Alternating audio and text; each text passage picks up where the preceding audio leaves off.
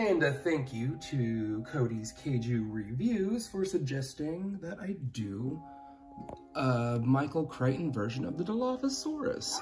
So I'm going to paint up my Dino Rivals Fallen Kingdom Dilophosaurus. I really wish they would have kept the collector card motif going. Can I just say that? Now this Dilophosaurus is quite a bit better than the, uh, the base Mattel figure that they released for quite a few reasons. It still has the frills that are unattachable, which I'm just not that into. But it has jaw articulation. Ooh, a lot. A ridiculous amount of jaw articulation. Do all of them do that, or is mine just kind of broke a little bit? cool. But it's got a throwback action feature. Like the initial Kenner Dilophosaurus, it will squirt water.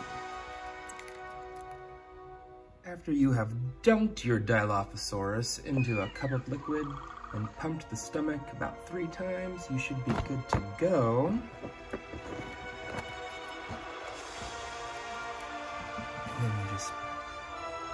Press its rubber little belly there. Oh, that doesn't really have much of a...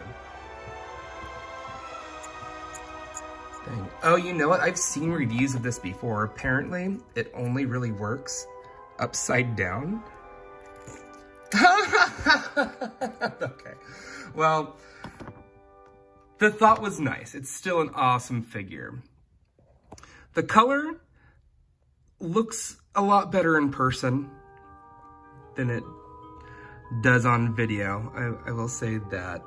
I really like the modeling patterns on the back and everything, all of that. But I don't know how I feel about purple dinosaurs. I just...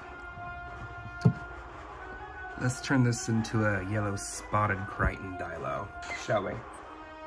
First things first though, we gotta get this whitewash going.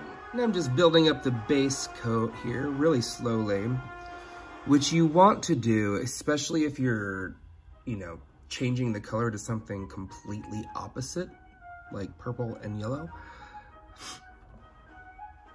It just, uh, it gets you so much more coverage without, you know, painting over all those details with a thick heaping layer of, you know, primer.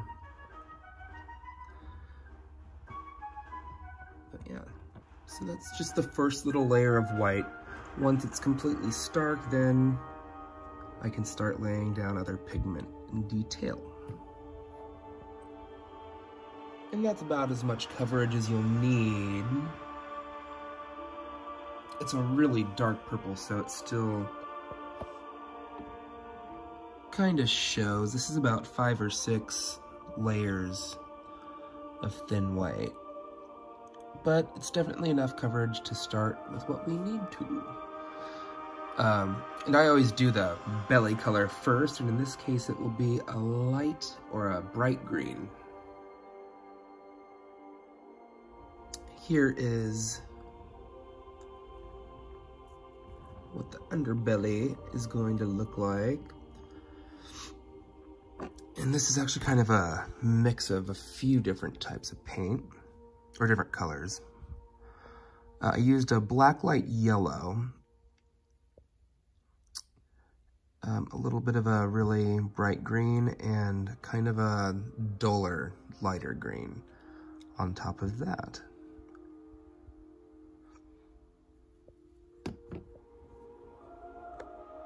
Here's the top coat.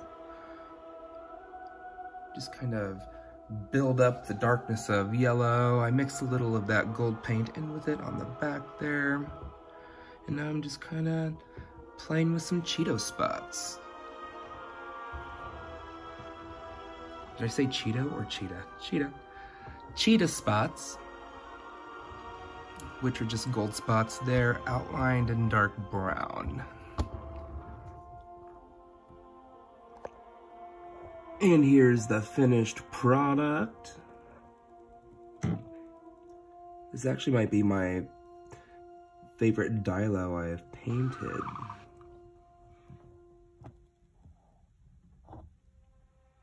Right out the novel, yo.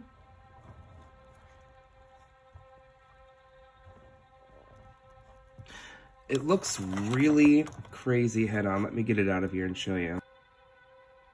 Absolutely love the color gradation. Completely unintentional, but it's totally a rainbow-faced Dilophosaurus.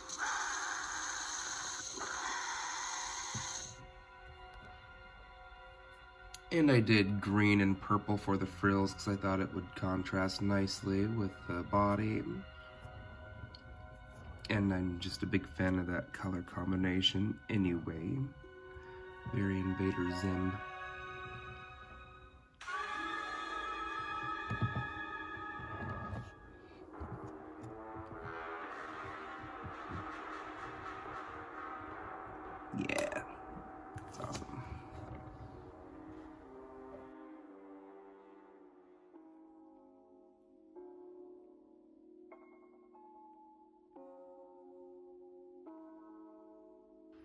Hey, thanks for watching, and don't forget to hit that like and subscribe button.